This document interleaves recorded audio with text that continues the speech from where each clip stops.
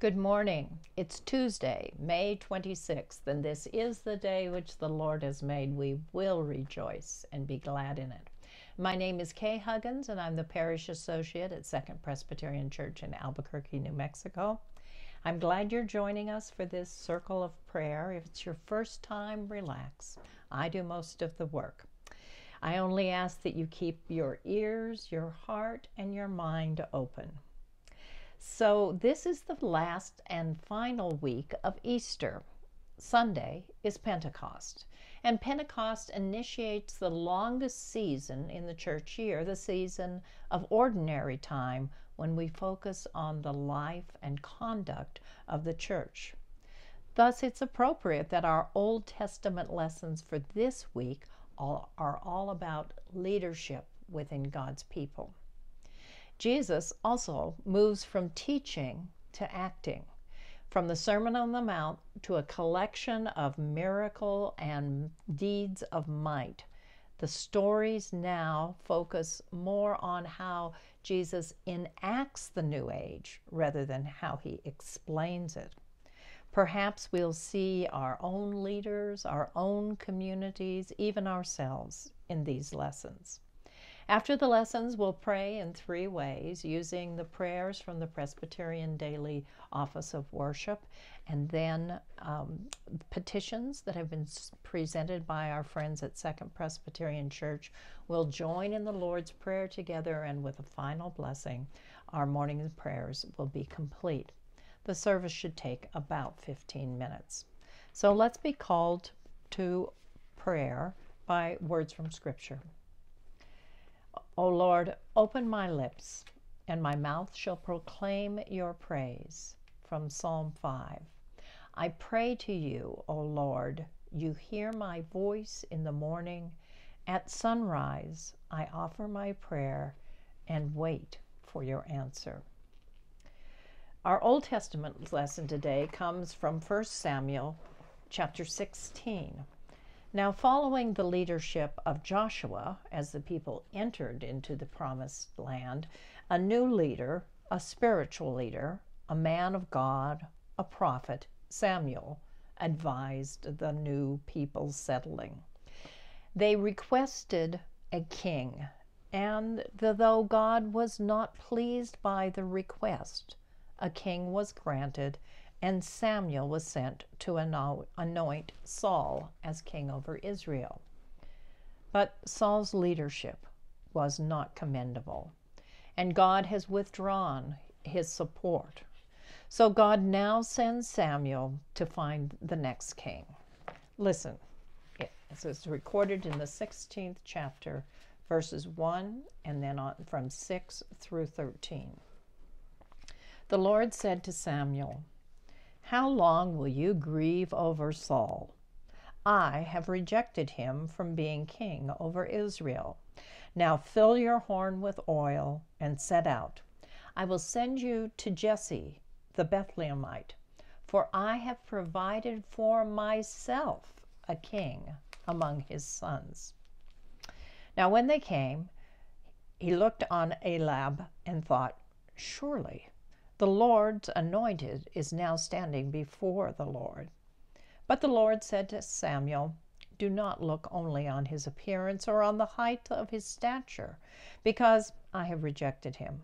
For the Lord does not see as mortal sees, that they look on the outward appearance, but the Lord looks on the heart. Then Jesse called Abinadab and made him pass before Samuel. And he said, Neither has the Lord chosen this one.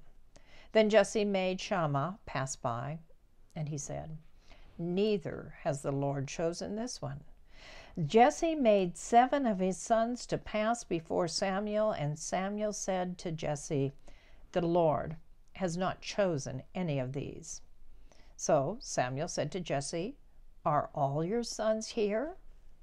And Jesse said, well, there remains yet one, the youngest, but he's out keeping the sheep. And Samuel said to Jesse, Send and bring him here, for we will not sit down until he comes. He sent and he brought him. Now this son was ruddy and had beautiful eyes, and was handsome. And the Lord said, Rise and anoint him, for this is the one.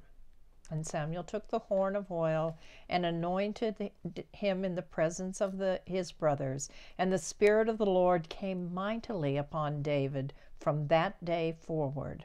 Then Samuel sent out and went to Ramah. So the characteristics of the that matter the most to God is the quality of a leader's heart. The leader may be physically fit, attractive, and even charismatic, but without a good heart, such an individual cannot lead God's people. Now, David, despite his many failures, managed to maintain a good heart. He knew how to confess his sins, how to repent, be disciplined, and to continue in God's grace. A good heart was the necessary element in leadership. Now, in the Gospel of Matthew, we notice there are several excuses to resist Jesus' new way of living. There's family commitments and self securing, there's life storms. These are three that are mentioned in our text. But by and far, the most devastating is fear. Listen, I'm reading from Matthew 8, verses 18 through 27. Now, when Jesus saw great crowds around him, he gave orders to go over to the other side. A scribe then approached him and said, Teacher, I will follow you wherever you go. And Jesus said to him, Foxes have holes, birds of the air have nests but the Son of Man has nowhere to lay his head. Another of his disciples said to him, Lord, first let me go and bury my father. But Jesus said to him, Follow me, and let the dead bury their own. And Jesus got into a boat, and his disciples followed him. And a windstorm arose on the sea, so great that the boat was being swamped by the waves. But Jesus was asleep. They went and woke him, saying, Lord, save us. Why? We are perishing. And Jesus said to them, Why are you afraid, you of little faith? Then he got up and rebuked the winds and the sea, and there was a dead calm. And they were amazed, saying, what sort of man is this that even the winds and the sea obey him? Here ends the reading from God's holy word. God is always faithful to the reading, the hearing, and the doing of the word. Jesus lives in a whole new way. Faith replaces self securing, everyday conflicts of interest, instances of danger. All these fears are set aside by a singular focus on faith. When the disciples are tossed about on the sea and Jesus is at, asleep in the ship, fear seems to multiply. Jesus, however, challenges them Why are you afraid? Where is your faith? His challenge echoes through the ages we hear it still. Why are you afraid? Where is your faith? I wonder. But now it's time to say our prayers. Let us begin with the prayers set aside for this day, Tuesday. Let us pray. Eternal God, we rejoice this morning in the gift of life, which we have received by your grace and the new life you give us in Jesus Christ. Especially, we thank you for the love of our families, the affection of our friends, our strength and ability to serve your purpose today, this community in which we live, and the many opportunities we have to give as we have received. God of grace, we offer our prayers for the needs of others and commit ourselves to serve them even as we have been served in Jesus Christ. Especially we pray for those closest to us family, friends, neighbors.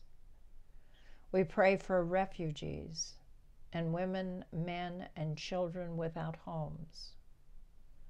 We pray for the outcast and the persecuted and those from whom we are estranged. On this day, Tuesday, we pray for the church in Africa. Holy God, we turn to you with joys and concerns upon our hearts. We are distressed when we can't be together with those we love. And yet, when we turn to you in prayer, we're humbled by the awareness that you know our heart's content. You hear our prayers before we speak, and you are always working for good in the world. So we bring to you our concerns. We pray for those who's extra who's extra isolated during this period by living in nursing homes, rehabilitation centers, hospitals, assisted living communities, detention centers, and prisoners. Bless each with your spirit that they may know your companionship and comfort. We pray for all who are in the medical profession, caring for patients under extreme circumstances. Especially, we name our members Carla, Nicole, Cassie, Sandra, Molly, Tilda, Emiko, Camila, Pat's daughter Toby, together with her husband Boyd. Bless them with abundant grace that others will know you through their care. We pray for those whose lives have been disrupted by death and who are learning to live in a new way while being under stay at home orders. The family of Eva, Joyce mourning her friend Peter, Mickey's friend Kathy mourning her mom, those mourning Fred's death in Denver, Tessie, and Concha. We lift up the Navajo Nation and the New Mexico Pueblos, where many deaths have occurred and many families are mourning. And we remember also those dislocated by flooding in Michigan, including Judy's brother.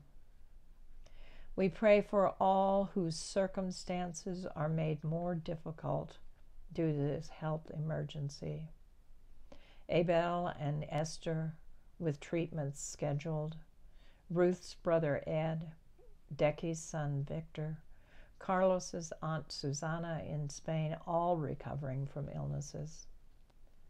We pray for those who suffer from undiagnosed pain Margaret, Esther, Carla.